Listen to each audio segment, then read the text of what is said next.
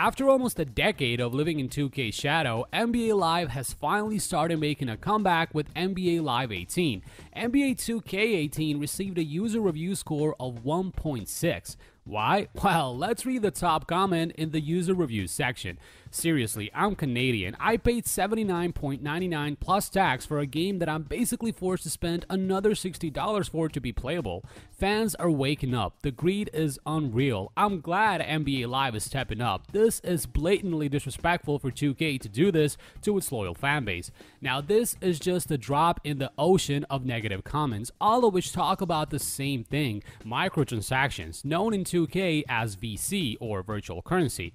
VC has always been present in NBA 2K games, but never to this extent. You need to spend your hard earned cash for everything in this game, from haircuts to your overall rating as a player. Imagine grinding day and night to get your overall player score up to, say, 85, and have your guy absolutely trashed by someone who bought the game yesterday but decided to spend 50 bucks to turn his player from rookie to superstar overnight. This isn't a straw that breaks the camel's back, it's a haystack made of poisonous needles, the poison being greed.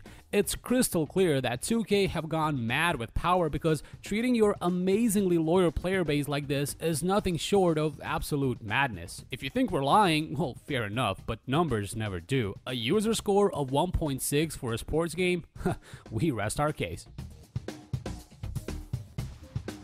So, what does all this mean for NBA Live 18? Now, that is an interesting story. After the poor reception of NBA Live 16 by players and critics alike, EA decided to take a hiatus with their NBA Live series in order to invest two years of development in NBA Live 18. Not only that, when they finally released the game, they put a price tag on it of only 35 pounds, which is 20 pounds cheaper than its 2K rival. The game also went on sale in February this year, and it cost only 8 pounds on both the Xbox and PlayStation Store. This was clearly an attempt to try and get some of their once enormous player base back because what basketball fan wouldn't spend 8 pounds to get a AAA basketball game, right? Surprised and downright disappointed with the route 2K decided to take with their franchise, we decided to invest our time and money in NBA Live this time around, and boy did we make the right decision. Two years of development really do show in NBA Live 18, from graphics to overall gameplay. Sure, the player movements are still not on par with those of 2K, and there's an obvious lack of animations and player likeness factors, such as signature moves, unique shooting and dribbling styles, and so on. We're still very pleased with what EA accomplished with NBA Live 18. The game is just very fun to play, which is what it simply must be. It is a sports game after all, and although there's still a lot of room for improvement, it's definitely a step in the right direction. NBA Live 18 offers a number of different modes to choose from. You have the One, which is a new career mode in the NBA Live series, Ultimate Team, Franchise Mode, Head-to-Head Online, and so on. There are two features which were added to the game later on through patches and updates, the 3 vs 3 Online mode and roster editing. Both of these features were requested by fans and soon enough they got what they wanted, which shows that EA Sports actually listened to their fan base and they try to meet their demands at least halfway. And of course, as you'd expect, they started bringing back players to their own virtual playgrounds. It literally takes a few seconds to find teammates to play an online pickup game with, as opposed to previous versions of the game where the servers were filled with tumbleweed and echoes of what NBA Live used to be. NBA Live 18 is slowly but surely giving 2K a run for their precious money.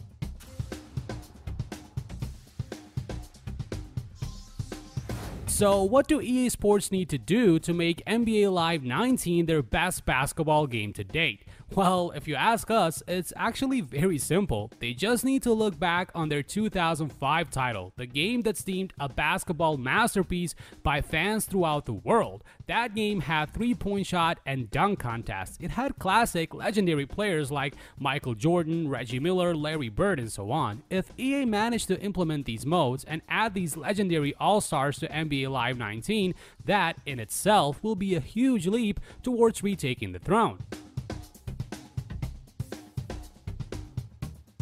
Knocking down threes with Larry Bird and performing a 360 dunk with Vince Carter is already a treat by itself, but since EA owned the Frostbite engine, we think it's a no-brainer that they should upgrade the new game's visuals and animations with it, just like they did with FIFA 17. So if you think about it, all EA need to do with NBA Live 19 is just implement the things that they already own. This is their best shot at closing the gap that's become a gaping chasm between them and 2K in the last decade, so they should definitely put the pedal to the metal.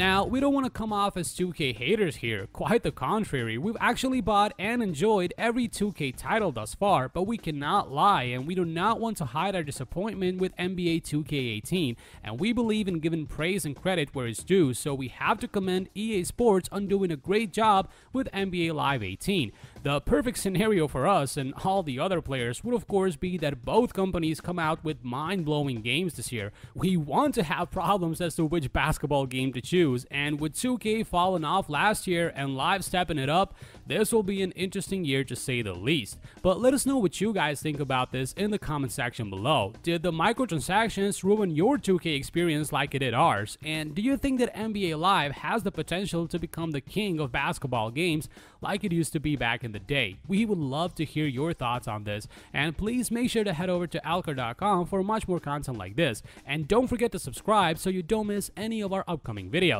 Thanks a lot for watching, this is Subreal, and see you in the next video.